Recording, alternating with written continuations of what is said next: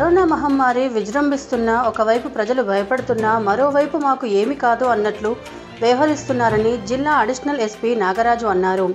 Lockdown ఉల్లంఘించిన వారికి చర్యలు తప్పవని హెచ్చరించారు. ప్రజలు అక్కడక్కడ దూరం దూరంగా ఉన్న కిరాణా కూరగాయల షాప్స్ వద్ద స్వీయ నియంత్రణ పాటించడం లేదని చెప్పారు. నేడు జిల్లా కేంద్రంలోని రామ్దాస్ చౌరస్తా నుండి కూరగాయల మార్కెట్ వరకు పలు కిరాణా షాప్స్ తిరిగి స్వీయ నియంత్రణ చర్యలు తీసుకుంటున్నారా లేదా అని తెలుసుకున్నారు. ఈ సందర్భంగా ఎస్పీ మాట్లాడుతూ అనవసరంగా బయటకు వచ్చిన వారిని తిరిగి పంపించామని పేర్కొన్నారు. బరాబర్ మీ షాప్ ముందు నిలబడితే మీ షాప్ మీద కేసు పెడతాం. మేము ముందే చెప్తాను. తర్వాత మాకు చెప్పలేదు సార్ మా మీద కేసు పెట్టి వాళ్ళు అనొద్దు వచ్చే కస్టమర్లని ఆ మార్కుల్లో మీరే నిలబడమని చెప్పాలి. వాళ్ళు నిలబడేటట్టు మీరే చూసుకోవాలి. మీదే అందరికి చెప్పినట్టే ముఖ్యంగా యువత బయటకి వస్తే చర్యలు తప్పవని హెచ్చరిక చేశారు. ప్రజలు ఇళ్ళల్లో ఉండడం శ్రే- శ్రేయస్కరం అని తెలిపారు. ఈ రెండు వారాలు ఇళ్ళల్లో ఉండడం చాలా ముఖ్యమని అత్యవసరం అనుకుంటేనే బయటకు రావాలని అన్నారు.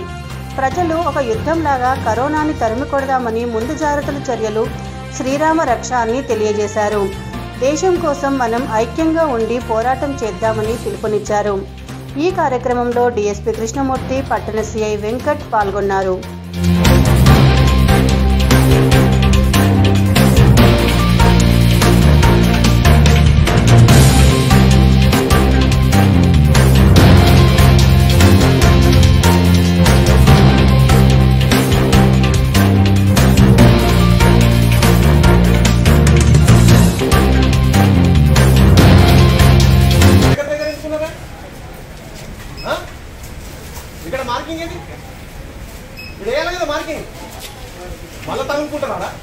ఇంతమంది ఏం చేస్తున్నారు లోపల? వీళ్ళంతా ఎవరు? ఇంతమంది ఎందుకున్నారు లోపల? ఎవరు మాట్లాడుతుంది ఏం చేస్తారు ఇంతమంది లోపల? ఆ? కళ్ళు ఏంటండి? అంతమంది ఉన్నారు లోపల.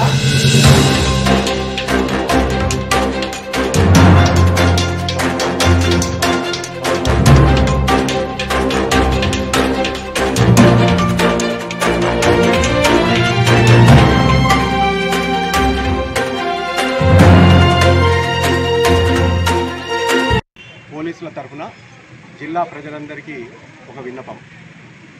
ప్రభుత్వం ప్రజలకు కల్పించిన వెసులుబాటు సమయం అది నిత్యావసర వస్తువులు తీసుకుంటానికి ఇంట్లోకి కావలసిన సరుకులు సామాన్లు కూరగాయలు అంటే ఆహార పదార్థాలు అట్లనే మెడికల్ సంబంధించినవి లేదా ఏదైనా డాక్టర్ దగ్గరికి పోవాల్సినవి.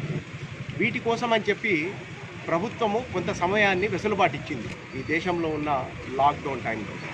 కానీ కొంతమంది ముఖ్యంగా యువకులు దీన్ని దుర్వినియోగం చేసుకుంటా ఊరికనే మోటార్ బైకుల మీద తిరుగుతూ ఉన్నారు ఊళ్ళో.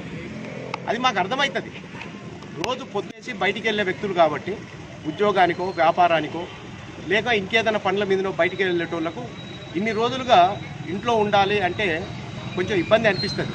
కానీ మనందరి ఆరోగ్య దృష్ట్యా మన కుటుంబాల శ్రేయస్సు దృష్ట్యా మన ప్రాణాలకు ఒక ప్రమాదం పొంచున్నదని చెప్పని ఈ కరోనాకు సంబంధించిన విషయంలో మెడికల్ ఎమర్జెన్సీ విషయాన్ని దృష్టిలో పెట్టుకొని అందరూ సహకరించాలని చెప్పి ఇప్పటికీ పదే పదే కోరటం జరిగింది. అయినా కూడా చాలామంది దాన్ని దుర్వినియోగం చేసుకుంటూ ఊరికనే రోడ్ల మీద తిరగటం సెంటర్లలో కూర్చొని ముచ్చట్లు పెట్టడం ఇటువంటివి చేస్తూ ఉన్నారు.